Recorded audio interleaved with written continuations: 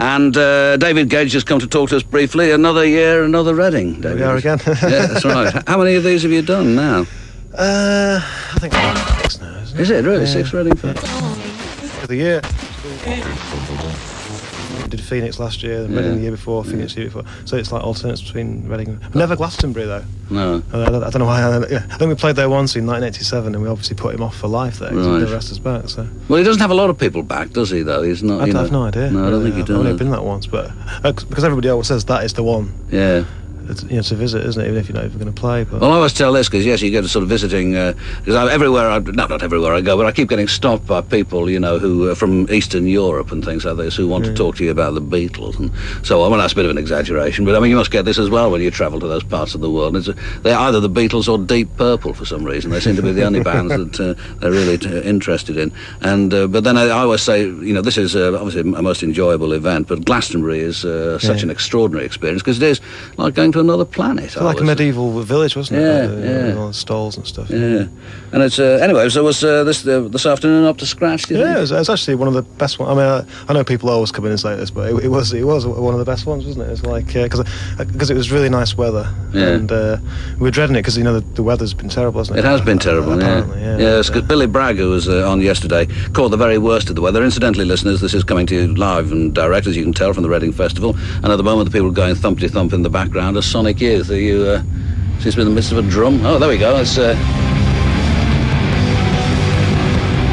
demonstration of the truth of what we're doing. Of course, as you know, I'm sure all of this is done in a studio in London with lots of sound effects and things like that. You and have to it down quickly, so we- have to pay them we did actually. We, we ran into this yesterday. Yes, you're, you're aware of ticking this. away. That's- there was some American manager bursting. Hey, you fellas! Hey, listen, that's ten thousand dollars yours.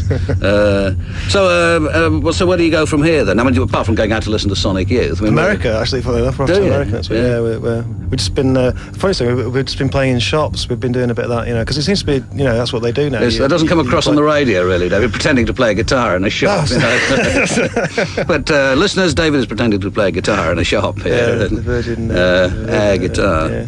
so, uh, uh, what, I mean, you've been doing that in uh, dear old Blighty? Yeah, yeah, we did it in Not- uh, Liverpool, Nottingham, and uh, Plymouth. Which uh, they got better actually because in Liverpool, were- I think they they kind of used to it a bit more up there. You know, there's like, yeah, so what? You know, you play in the shot. This the little kid came and said. What are you doing? I was like, well, I'm setting my guitar. You know, he's like buying his records. Yeah. But as we got down to Plymouth, when I think it was a bit a bit rarer, it's actually uh, it was quite good. It was a bit it was a bit more kind of a, a bit more of an event, I suppose. Well, you're not going to be playing in shops in the States, though. We have done it a couple of times. Yeah, I think it, I think it's more it's more uh, common over there actually, but uh, they've, only, they've only just started doing it here. So, uh, how, when you go over there, I mean, how, how well known are the wedding present? Well, I've got to say we actually do really well over there. I mean, I think uh, it's one of those things where because America's not as as fashion oriented as Britain. I mean, in Britain we were fashionable like late eighties, and you know we second on the bill at, at Reading actually at one point. I think supporting the Inspiral Carpets actually. But, they had a uh, great firework display. Did you? The, Yeah, uh, did you hear, yeah, see any of the yeah. fireworks just now? Yeah, I don't know what that was. That just somebody sort of banged, banged into us again. One of the fireworks just landed on your right. caravan, I think. Because no, it was it was really quite uh, alarming in here when they all went off because the van Yeah. really did shake, It's and there's a car out there that's uh, uh, the car alarm has been set off by the fire. And this is, I could still hear it a moment or so ago.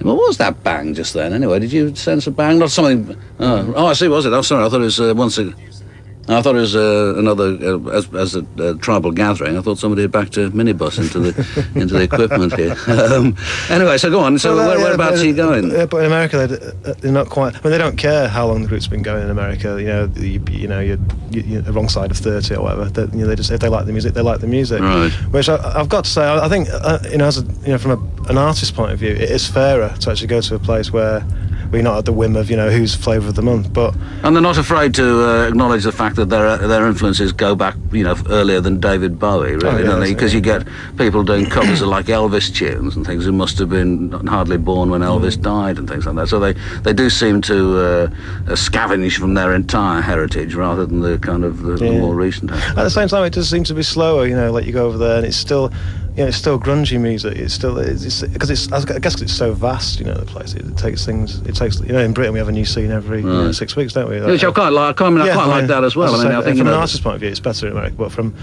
as a as a punter, you know, Yeah. I think it's great here. There's quite a good you know, piece in uh, on this very topic, oddly enough. In I think it's in today's uh, The Independent on Sunday, Hmm. uh, on, which I will give to you as when you leave, and you can take it away and read it. Full service here, yeah. oh yeah, so we, yes, we, we, don't, we, we don't fall bow down on these things. So, uh, right, new single out. Is it? Uh, oh, so it's a bang in the microphone. A new single out. Any thoughts on that? Somebody, uh, it was actually reviewed on uh, Stuart Mc- uh, Maconie and uh, Andrew Collins, and they said it sounded like Prag Vec. Well, that's that's that's, that's a pretty sound kind of cultural yeah. reference, isn't Oh, it? I've not heard of that name for about uh, 15 years. Yes, it's not, it's not, not. It doesn't often come up in polite society. That's for sure. They were rather a good band. I think to be compared to Prag Vec. Yeah, is, uh, quite impressed uh, by that. But so yeah, I, I can't see it, but man, I, could probably, I don't think I remember a Prag Vec record now. I couldn't hum you one. If he said uh, hum one or die, fat boy, I'd, I'd just have to roll over. I'm afraid there's no options for me there. So, what are you going to do for the rest of the evening? Go out and uh, drink too much like the rest of the pop people? Uh, I imagine there will be, yeah. There's, uh, yeah, Stone Roses and uh, what is it? Sonic Youth now. Yeah, yeah, yeah. That's, uh, there's Kim Gordon on the she monitors. goes, the yeah. bank of monitors we here have in our luxuriously appointed studio at. Okay, well, listen, thanks very much, and uh, let's hope we're both around to do this again uh, next year from either Phoenix or Reading, or uh, even uh, more exciting from your point of view, from Glastonbury. That would be a real treat for you. Thank you it? very much. All right, okay. Well, enjoy the stage. Thank you. Don't forget, and if you go, if you go, I tell you what you can do. Are you playing anywhere in the south? Not this time, but we, I think we are going back in November. So All right. Well, if you, the one thing that I, I really like is, and I was talking to people about this today, is that uh, there's a substance there called Royal Crown Cola, and it's, I'm not advertising because you can't get it in this country. Have you ever had? They're called RCs. That's uh, we Southern boys uh, call them RCs. You never had No, an RC? that, no. Oh well, if you get, if, you- if you get a, ch- if you can get get me a bottle or a can of RC, uh, you'd be a hero. We- We'd bring it back home. does it taste different then, or something? No, I don't think probably not. Actually, it's just fizzy and makes you feel, you know, and it's uh, full of sugar and stuff. But at the same time, you know, it's a kind of a bit of nostalgia for me. You know, I think about- think about the days when I was out selling insurance in West Texas with a crate of RCs in the back of the car, which never happened, of course, but yeah, I can imagine that it did. Right, okay. Uh, last night did the uh, sorry. I'll keep my eye open. Yeah, do yes, yes, do. Oh, you may let- turn to uh, you know, to enjoy myself.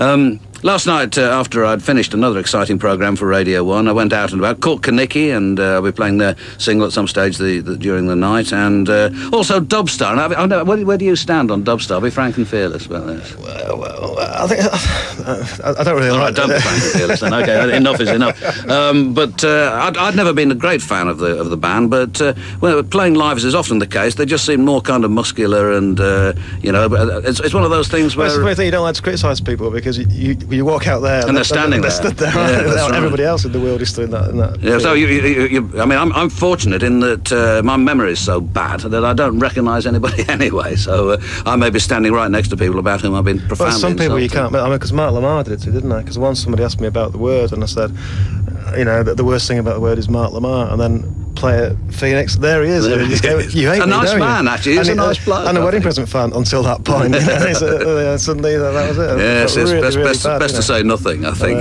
yeah. Uh, right, okay, well, thanks, uh, thanks very much for coming in again, as I say. Now, bang on nine o'clock, as advertised, live from Reading, the wedding presents.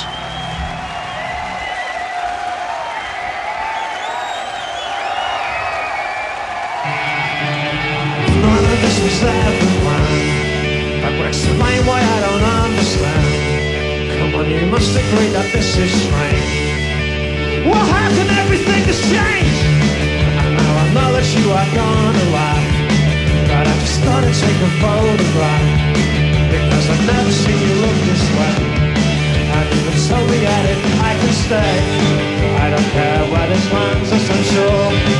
I don't think we're in Kansas anymore. I don't care where this lands us, I'm sure.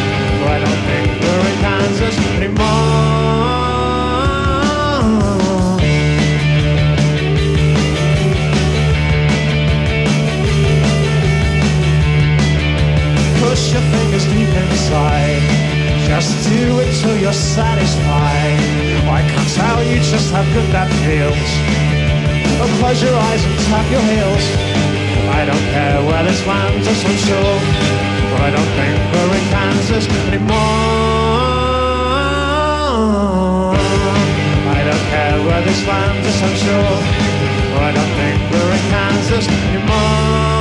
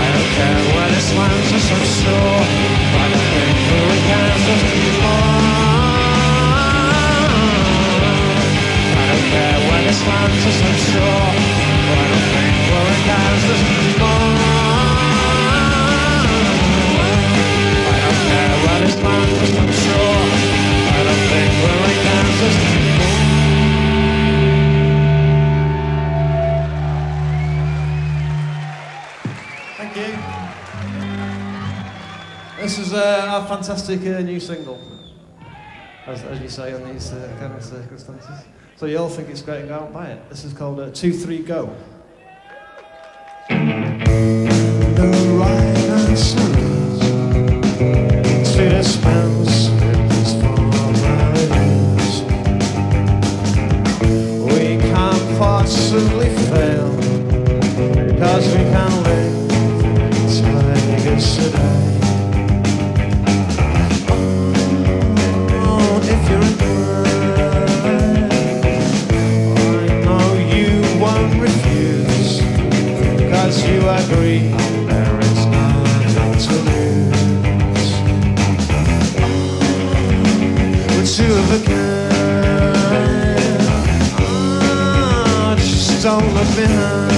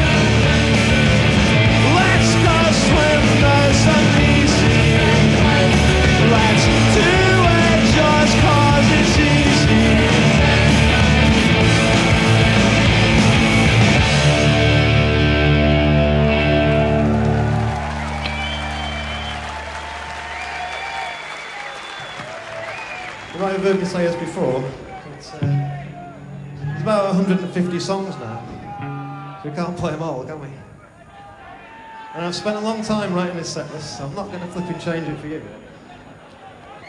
This is uh, another fantastic new song, actually.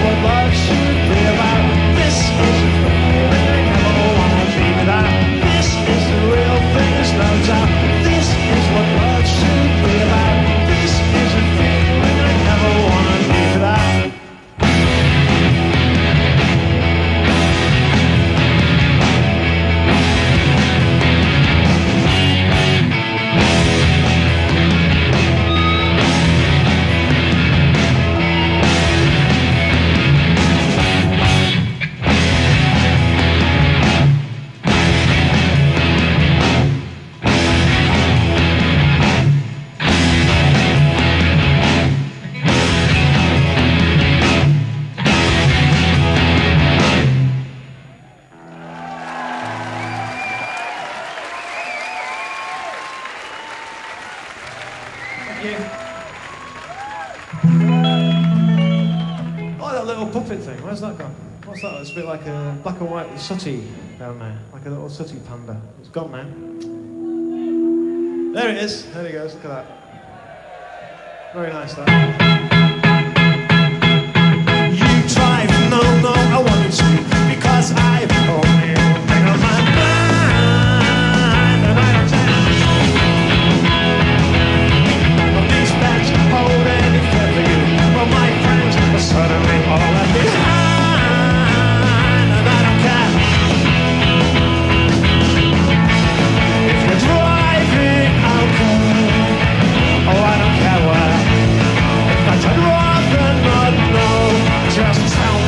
get there.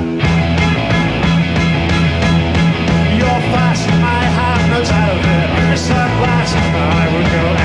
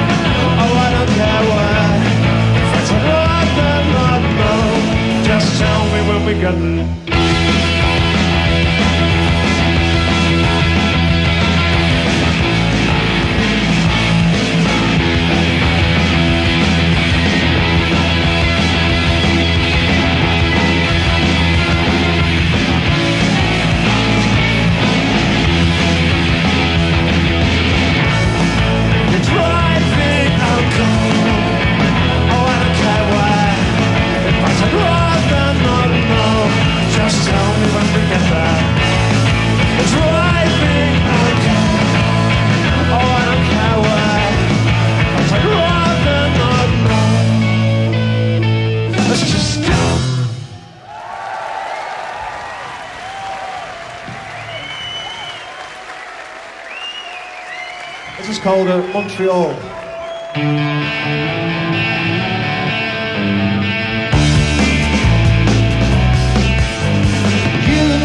I can't stop dreaming about you.